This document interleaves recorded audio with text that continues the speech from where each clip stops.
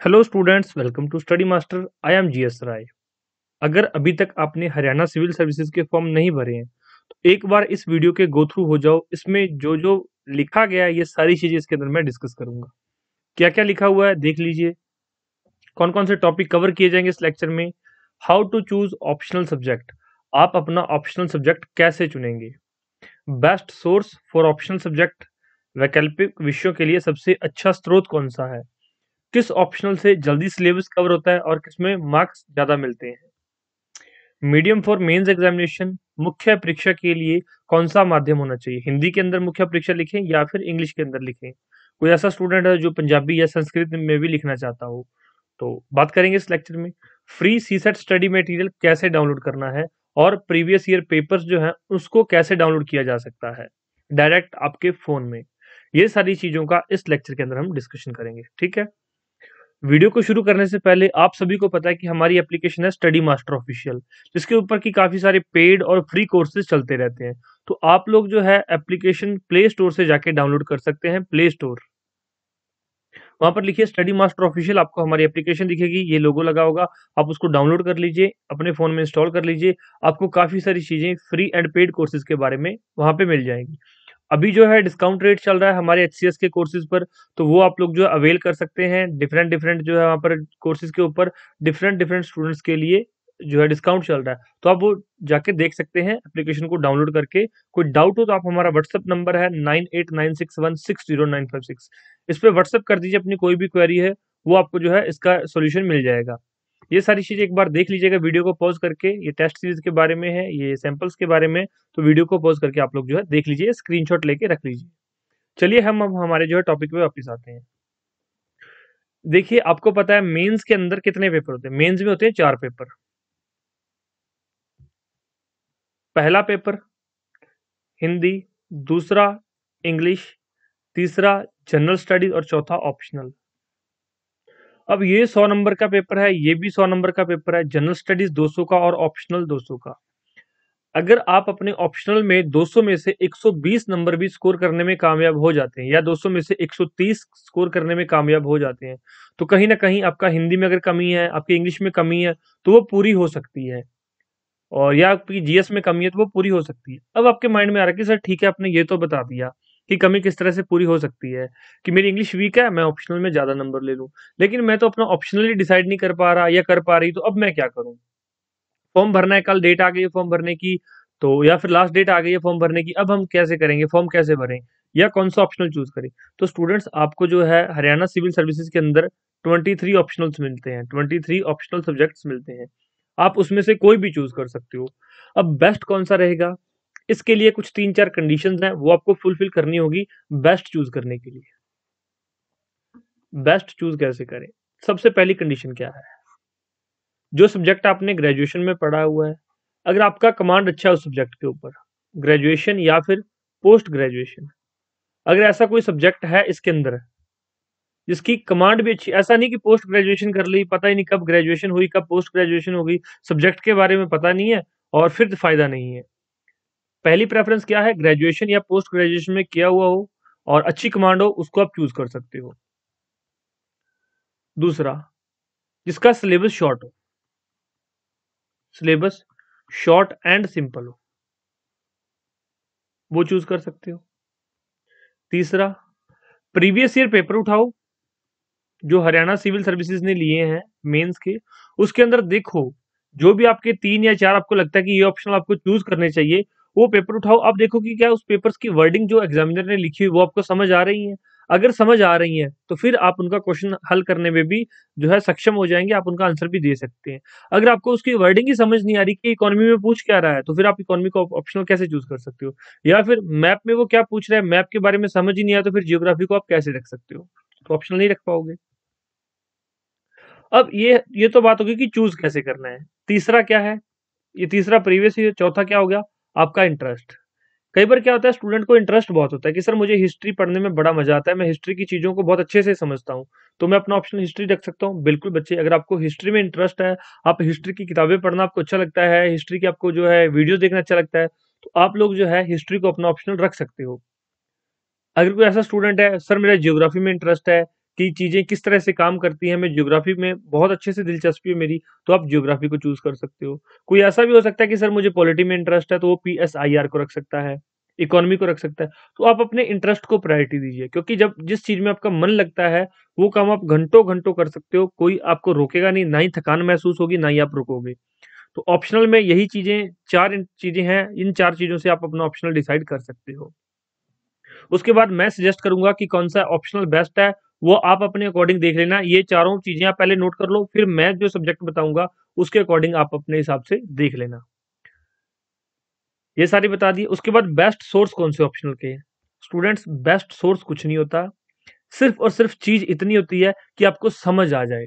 चाहे आप NCERT e से पढ़ रहे हो, अगर समझ आ रहा है तो एनसीईआरटी बेस्ट है। एनसीईआरटी में नहीं समझ आया, किसी की बुक से समझ आ गया, कोई एक्स वाई जेड राइटर है, उसकी बुक बेस्ट है। एनसीईआरटी से समझ नहीं आया, इसकी बुक से समझ नहीं आया, मेरे नोट से समझ आ गया तो मेरे नोट्स बेस्ट है। तो आपकी ट्यूनिंग जो आपका स्टडी मटेरियल है, उसके साथ आपकी कितनी बनती है, कितना आपको समझ आता है। दूसरा ये रहता है कि कई बार कुछ ऑप्शनल्स ऐसे भी हैं, जिनका स्टडी मटेरियल अवेलेबल ही नहीं है मार्केट के अंदर। कोई इंस्टीट्यूट प्रोवाइड नहीं करवा रहा, किसी बुक्स में उसका सिलेबस नहीं मिलता तो वो तो आप बिल्कुल चूज़ मत कीजिएगा। उन चीज़ों को चूज़ करने की ज़रूरत नहीं है, जब आपको उनका स्टडी मटेरियल नहीं मिले तो एक चीज़ ये भी यहाँ पे नोट कर लेना कि उसका स्टडी मटेरियल अवेलेबल होना चाहिए। वैसे तो आजकल 23 जो यहाँ पर 23 सब्जेक्ट्स हैं, हरियाणा सिविल सर्विसेज़ के अंदर तो मोस्टली सभी का स्टडी मटेरियल मिल जाता है, लेकिन फिर कुछ ऐसे हैं जिनका रेयर ऑफ़ द रेयर मिलता है, कि कई बार चार साल पुराना मिल गया, किसी की कॉपी मिल गई तो वो फ़ायदा नहीं है। जो लेटेस्ट स्टडी मटेरियल आपको प्रोवाइड करवा सके, वो ही जो है आप ऑप्शनल चूज़ कीजिएगा। अब अगला क्वेश्चन जो रहता है कि, सर, किस ऑप्शनल से जल्दी सिलेबस कवर होता है? देखो स्टूडेंट्स हिस्ट्री का सिलेबस है, काफ़ी लंबा चौड़ा है। जियोग्राफी का सिलेबस है, काफ़ी लंबा चौड़ा है। इकोनॉमी का सिलेबस है, बहुत छोटा है। सोशोलॉजी का सिलेबस ठीक ठाक सा है। पॉलिटी का सिलेबस थोड़ा लंबा है। लेकिन इसमें जो है जल्दी या लेट कवरेज की कोई बात नहीं है।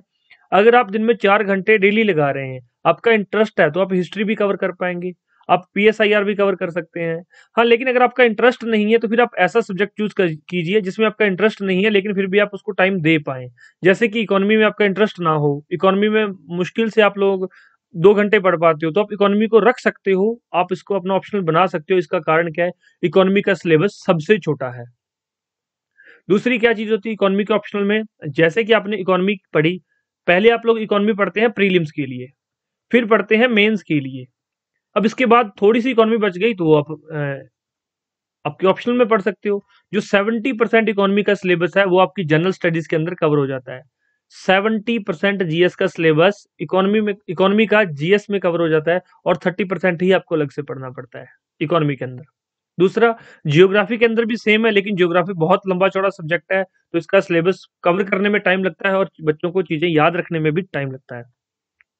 हिस्ट्री, अगर किसी ने हिस्ट्री ऑनर्स कर रखी है या ग्रेजुएशन में हिस्ट्री थी तो वो अपना ऑप्शनल बहुत जल्दी कवर कर सकता है। उसको चिंता ही नहीं, क्यों? क्योंकि उसने बीए में भी पढ़ा है, उसने एमए में भी हिस्ट्री पढ़ा हुआ है तो बीए एमए जब हिस्ट्री में पढ़ी हुई तो फिर वो जल्दी से जल्द कवर कर सकता है, क्योंकि उसको सिर्फ़ और सिर्फ़ रिविजन की ज़रूरत है, उसने कवर नहीं करना सिलेबस कुछ बच्चे क्या करते हैं मतलब पता नहीं किस इंस्टीट्यूट से सुन के आ जाते हैं या किससे सुन के आ जाते हैं कि, सर सोशियोलॉजी रख लेते हैं।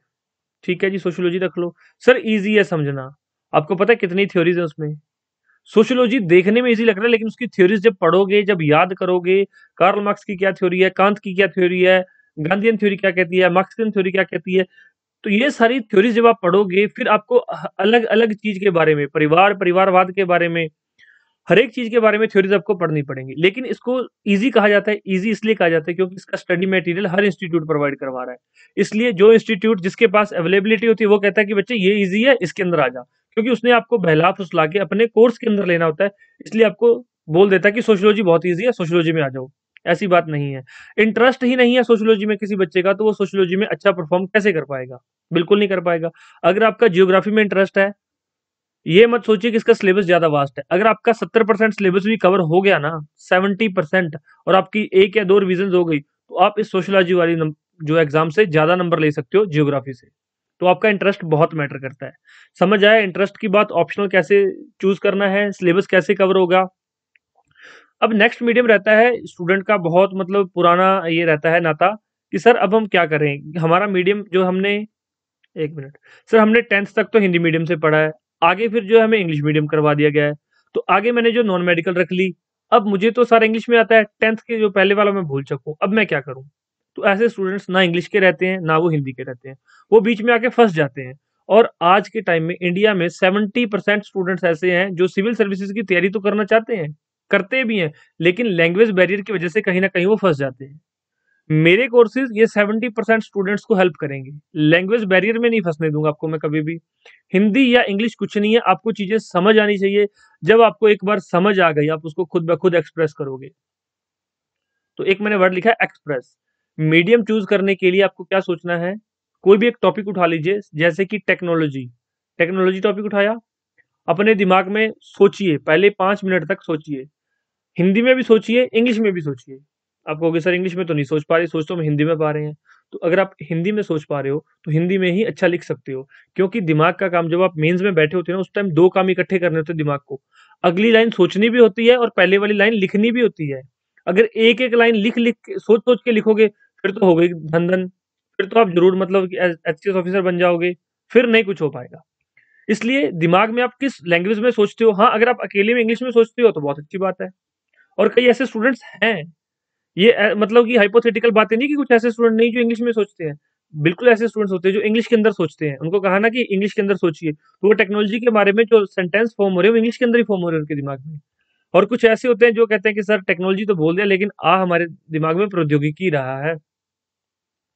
तो इस वजह से जिस लैंग्वेज में आप खुद को अच्छा एक्सप्रेस कर सकें, वो लैंग्वेज चूज़ कीजिए। आप प्री में मेंस में इनपुट किस टाइप से ले रहे हैं, वो प्रॉब्लम नहीं है, वो चिंता का विषय नहीं है। आप अच्छा लिख किसमें सकते हैं, वो चिंता का विषय है। तो इसलिए मीडियम बड़े ध्यान से चूज़ कीजिए। कई बार क्या होता है, हम देख देख के कि उसने भी इंग्लिश मीडियम लिया, इसने भी इंग्लिश मीडियम लिया है वो भी इंग्लिश में कर रहा है।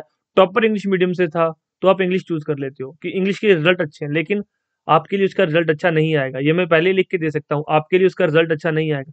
किसी टॉपर ने इंग्लिश में टॉप किया है तो उसकी मेहनत होगी, उसने इंग्लिश में भी पूरी कमांड बनाई हुई है, इसलिए उसने इंग्लिश में टॉप किया है। आपकी हिंदी में कमांड है तो बेचिंत, बेझिझक हिंदी ले लीजिए। कोई प्रॉब्लम नहीं, हिंदी में आप अच्छा लिख पाएँगे।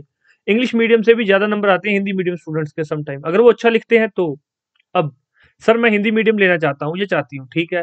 तो अगर आप हिंदी मीडियम लेना चाहते हैं तो कोशिश कीजिए मैक्सिमम चीज़ें हिंदी में पढ़िए। क्यों? इससे आपकी वोकैब बहुत अच्छी हो जाएगी। अच्छी वोकैब होगी, आपका शब्द बहुत मतलब कि वास्ट हो जाएँगे आपके पास शब्द।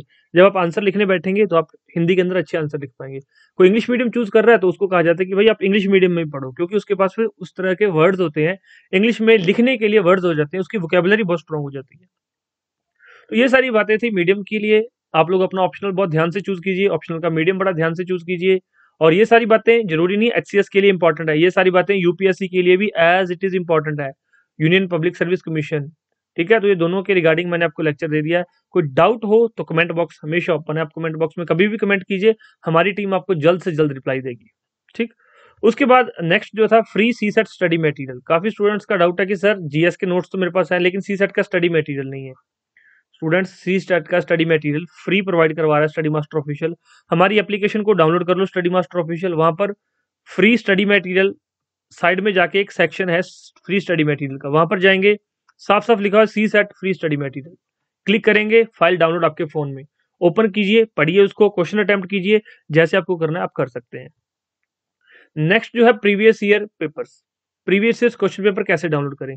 हमारी ऑफिशियल वेबसाइट है W W W dot study master official dot com description box में लिंक प्रोवाइड मैं आपको करवा दूँगा.